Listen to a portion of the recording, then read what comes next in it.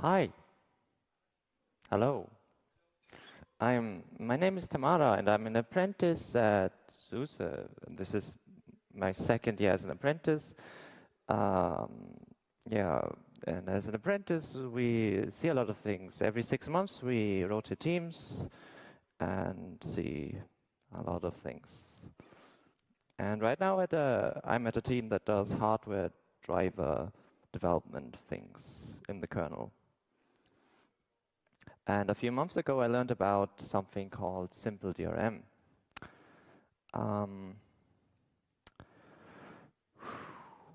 that's a big kind of worms. Um, first of all, DRM is a kernel subsystem, and it DRM stands for Display Rendering Manager, not Digital Rights Management. That's what uh, video distribution platforms do. But this is just about putting stuff on the screen and having 3D graphics and whatever. Um, right. Oh, excuse me. So, so when you boot your system, you see things appear on your screen. And um, I'm going to explain how that works on, on an x86 64-bit EFI system, just so that you can get an understanding for how it exactly works um, and why Simple DRM even exists. So when you turn on your machine, you usually see your, your standard laptop. You see a manufacturer's logo, you get into Grub somehow, and then Grub loads uh, the kernel. And um, you already, there's, so graphics have already been initialized, but um, now the kernel has to find where that is um, using a tool called VGA I'm actually going to demonstrate this if we just have a normal uh, tumbleweed machine and boot it. Um, we see a screen. I disabled uh, login manager, so I just dropped to the text console. Nothing to worry about there if I go into the dmesg, the, the kernel log, I can see that, um, excuse me, um, I can see that VGA. I can see that VGA arb um, found the frame buffer that was already uh, existed, um, initialized by the by whatever previously happened, and then um, another driver comes in, in this case vesafb, because I'm on a, this is actually a BIOS virtual machine, whatever. There's a driver that just goes, okay, I have something where I can draw pixels to and it will get displayed. And that's where the text console is set up, because before you do that, you, you don't even see any text. Um, later, this is so this is the first thing you see on the screen that comes from Linux. Later on, you're going to load a real driver that is specific to your hardware, and that's usually a DRM driver in the DRM subsystem of the kernel. And this happens at second 2.8, at 2.8 seconds, as you can see. Um,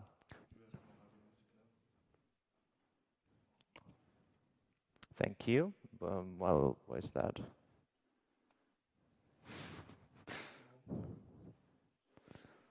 Uh, I did not do anything.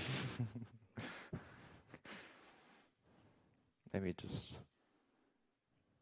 you know, HDMI graphics things. You know, graphics are wanky. um, so yeah. Uh, better drivers loaded that is specific to your hardware, and then you get uh, often hardware acceleration or just the, the, ability to change your screen resolution, whatever. So the, the problem here is that we use uh, an FBDEV driver, and that means um, it's not DRM. Why is that a problem? Well, because um, um, X server does support FBDEV, but um, let's say I disable kernel mode setting, which means that um, the fancy driver is not loaded, so we'll just stay with the very basic one. Um, if we do that, um, we will see that X will be fine with that and it can talk to FBDEV, but Wayland, for example, does not know how to talk to FBDEV. The Wayland protocol relies on there being a DRM driver, usually. So I can run X server and I have a desktop. But if I try to run Weston, I get an error message because there's no DRM driver. It wasn't loaded. Um, Simple DRM on the other hand, goes ahead and just replaces that very early driver with a DRM driver, a very simple one, hence the name. it can't really do a lot of things, but it can do enough. Um, oh, this machine is frozen. Where's my mouse? Release pointer. Okay if I disable mode setting on this machine, so we're not using the fancy driver, um, we wait as well. We go into root and we look at the log. And as you can see, VGAR found the our frame buffer, but then um, instead we see DRM initialize the simple DRM frame buffer, and then we see where it says console, that's where we set up the basic text output so that we can print stuff to the screen. Um, and because I said no mode set, the fancy QXL, well, the fancy device-specific DRM driver is not loaded, um, which would be the case if you have a broken driver or if you don't have, um, if you're on a system that doesn't have a working native good driver. So I can still start X like I did before, um, which will take a bit longer because I think I have GNOME on here. Yeah, there you go and um, but the main difference is I can launch Weston and we have a desktop. Um, yeah, it's a full desktop. It's it's basic, but it, you have graphical output. At least West, at least you have Wayland. Um, okay. So um, the point of the simple DRM is so that you can have just stay, do everything DRM. That's the whole idea of uh, simple DRM. Um, and for that to happen, you need a special kernel build. There is, um, there you go. So the most interesting code is in in the in the kernel tree. It's uh, in here in the drivers, GPU, DRM, tiny, simple DRM, a folder file. um, there, you need to make a few um, kernel config changes to um, use simple DRM. It's the, the code is in the mainline kernel. It's been actually for almost nine years, I think. But um, you need to make these changes to your kernel config. Come on. And if you do, you, you're using simple DRM instead of VB, a FBDEV driver.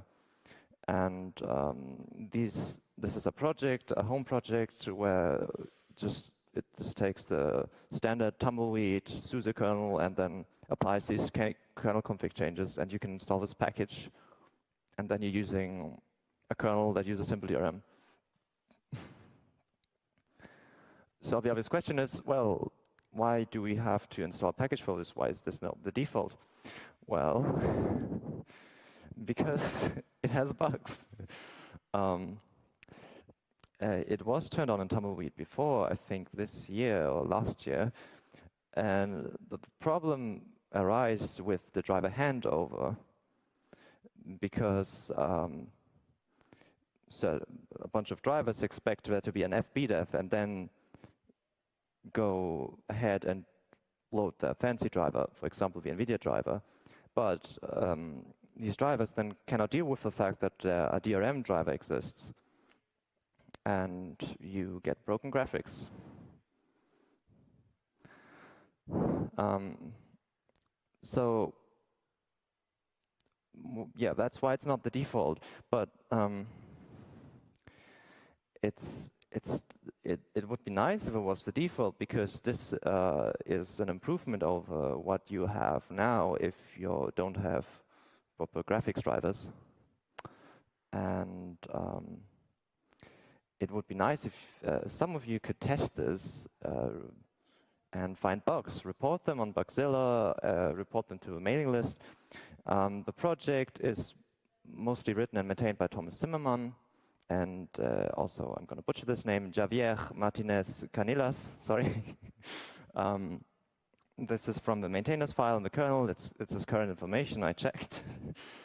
um, yeah, it's mostly developed on the free desktop mailing list, um, on the free desktop Git, uh, DRM, DRM, DRM tip is where you can get the latest patches usually. And um, yeah, please go ahead, test this. Please help make this a viable default on whatever distribution you have. Um, thank you.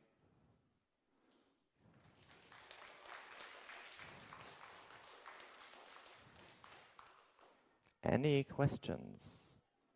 If, if anybody has questions, raise your hand, please.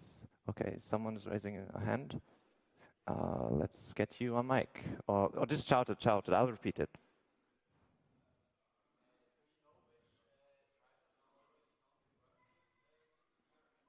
The question is, do you know which drivers are known to be working with SimpleDRM? Um, I've personally tried Intel graphics, I've tried AMD, I've tried um, the, the the QEMU drivers, which is QXL, which is what is used uh, commonly when you have a virtual machine using KVM QEMU, those, those just work fine. Usually, um, I think a lot of problems with the mainline drivers have been resolved. It's especially out of tree drivers that are more problematic. But uh, there's no there's no list of what works. This has also been tested on ARM, I think. It should work on ARM on certain on some ARM devices. Another question. Can you run with dual monitor? um, I don't think so. So you see, um, when you don't have mode setting, you just want to have any form of output. So I, I think you might get dual monitor output that, that that's just that it's mirrored. Um, you want a driver, a, proper DRM driver that has mode setting that can support resolution changes and everything. This is just a fallback. And it's, supposed, it's trying to be as generic as possible and work with EFI, VESA, ARM devices, whatever. Any more questions? Um, and I don't see any, so that's it. Thank you.